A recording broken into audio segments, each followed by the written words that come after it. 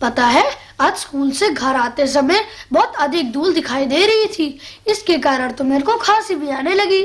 अरे भैया वह धूल नहीं वो तो गाड़ियों से निकलने वाला धुआँ होगा। लगता है सब एक साथ मिलकर किसी गहन विषय पर बातचीत कर रहे हो बच्चों। जी चाची जी। क्या विषय है तुम लोगों का बच्चा? चाची जी हम लोग आज आपसे बहुत ही आवश्यक विषय पर जानकारी लेना चाहते हैं क्या विषय है बच्चों? चाची जी चाची जी आजकल मेरे विद्यालय में मेरे मास्टर जी कहते हैं कि हमारा वातावरण दिन पर दिन दूषित होता चला जा रहा है। क्या ये सच है चाची जी? हाँ बच्चों यह तो बड़ा ही यथार्थ है कि हमारा वातावरण दिन पर दिन खराब होता चला जा रहा है। बच्चों इसके कारण तुम लोगों ने भूगोल में पढ़े ही होंगे।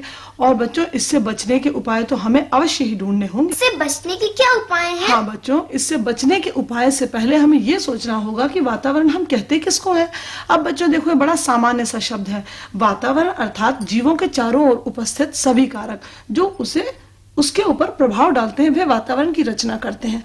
अब बच्चों, देखो, सभी जीव जंतुओं के लिए वातावरण कितना आवश्यक होता है, यह भी तुम जानते हो। यदि वातावरण ना हो तो जीव जंतु मर ना जाए।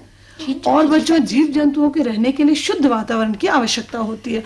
और यदि संतुलित वातावरण होगा तो जीव जंतु बड़े, अच्छे तरीके से जी पाएँगे तो हमको इनके बचाव के बारे में अवश्य ही सोचना चाहिए। मैंने भी अपने पुस्तक में पढ़ा है कि प्राचीन काल में ऋषि मुनि और सन्यासी लोग पीपल तुलसी और केले की पूजा करते थे। हाँ बच्चों ये उसी समय नहीं ये तो आज भी पूजा होती है इसकी। तो मैं सर्वप्रथम इसके घटक के विषय में बताती हूँ। ये सर्वप्रथम ये बताती हूँ कि पर्यावरण को बचाने के उपाय क्या क्या है। सर्वप्रथम बच्चों जो सबसे मुख्य उपाय है वह है लोगों में जागरूकता।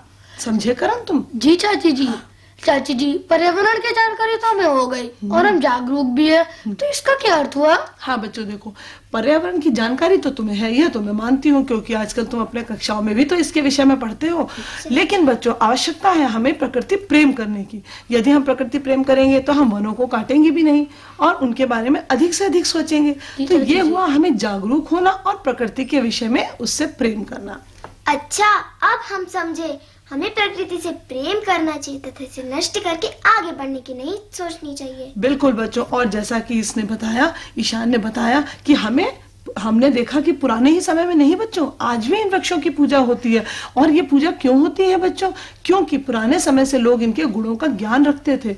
और बच्चों करण तुम्हें समझ में आई है बात? जी चाची जी। चाची जी पर्यावरण की सुरक्षा के और क्या उपाय है? हाँ बच्चों, इनके अन्य कई उपाय हैं। जैसे बच्चों, देखो, एक तो मैंने तुम्हें बताया जागरूक होना, दूसरा है प्राकृतिक संसाधनों का संरक्षण करना।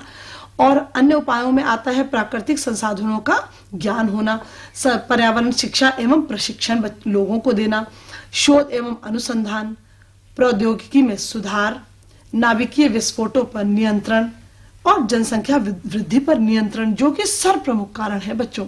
चाची जी, इन्हें विस्तार से बताइए। हाँ बच्चों, देखो, इन्हें विस्तार से जानने के लिए सब हमें जानना होगा कि पर्यावरण के विभिन्न घटक क्या क्या है। बच्चों, देखो, पर्यावरण के घटक अर्थात पर्यावरण में पाई जाने वाली चीज़ें। अब पर्यावरण अर्थात हमारे आसपास की वायु, जल, जीव, जंतु आदि आदि ये सभी मिलकर वातावरण की रचना करते हैं। चाची जी हमारे देश में वन जीवों की सुरक्षा के लिए कोई नियम कानून भी तो बनाए गए हाँ बच्चों बहुत अच्छा अच्छी बात कही है तुम लोगों ने। हम दे, हमारे देश में बच्चों जीव जंतुओं को बचाने के लिए और वन संरक्षण के लिए अनेक नियम बने हैं। परंतु बच्चों तुम जानते हो हमारे देश में इसका पालन नहीं हो रहा है। यदि हम इसका पालन कड़ाई से करेंगे तभी हम अपने वन में अपने हमें अपने वातावरण में संतुलन स्थापित कर पाएँगे और हमारे वन जीवों का अच्छा को अच्छा वातावरण मिलेगा। बच्चों तुम लोगों ने अपनी पुस्तकों में पढ़ा होगा यदि हम जंगलों को तेज़ी से काटेंगे तो क्या होगा बच्चों? वनों जीवों हमारे जानवरों को रहने के स्थान भी नहीं मिलेंगे और वनों का विनाश होता चलेगा। चाची जी इन सबसे जनसंख्या क्या क्या संबंध है? बहुत अच्छा प्रश्न किया है ईशान ने। हाँ बच्चों देखो जनसंख्या का इससे बहुत बड़ा संबंध है। देखो बच्चों जनसंख्या जब बढ़ती है तुम्हें पता है उनके इस्तेमाल के लिए हम लोग क्या करते हैं बच्चों? वनों का विनाश करते हैं पढ़ा है ना तुमने? हमें रहने के लिए मकान फिर अपने घरों के को सजाने के लिए आदि आदि सामान हमें चाहिए, जैसे लकड़ी। लकड़ी का इस्तेमाल करते हैं तो हम लोग कहाँ से लाते हैं लकड़ी? कारण बताओ। जंगलों से। जंगलों से लाते हैं। अब लकड़ी लाने के लिए हम वनों का विनाश करते हैं। अर्थात हम वनों को तेज़ी से काटते हैं। तो इस इस्तेमाल से हमारे जंगलों में कमी आ रही है। तो बच्चों जनसंख्या को अगर हम जनसंख्या वृद्धि पर रोक लगाएँगे तभी हमारे वनों का विनाश रुक पाएगा।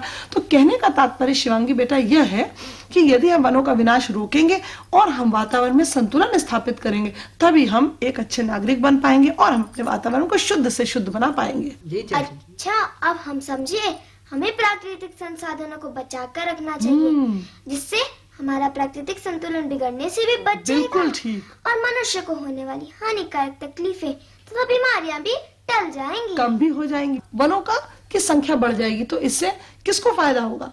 हम हम लोगों को। हमें लोगों को तो फ़ायदा होगा जीव जंतुओं को फ़ायदा होगा और इसके फ़ायदा होने से हमारा वातावरण भी शुद्ध हो जाएगा। जी तो चाची जो। जी। अगली बार जब मैं आऊँगी तो मिलूँगी और तुमसे पूछूँगी क्या प्रभाव हुआ।